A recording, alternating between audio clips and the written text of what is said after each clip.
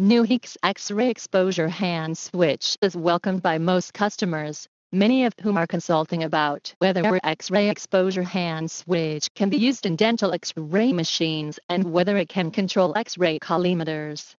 New Newheek has seven models X-ray exposure hand switches, one wireless hand switch and six wired hand switches. L05, L06 belong to one-step hand switch. L01, L02, L04 belong to two-step hand switch. L03 belongs to three-step hand switch. Recently, some customers came to ask if our X-ray exposure hand switch can be used to control the X-ray collimator. Our L03 X-ray exposure hand switch can meet the needs of customers.